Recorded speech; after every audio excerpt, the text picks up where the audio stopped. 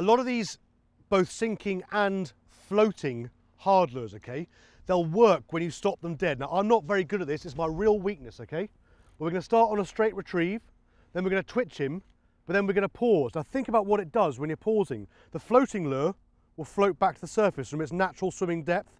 The sinking lure, some of them, will sink like that, and the fish will often hit them when they're static. So we're retrieving, bam, pause.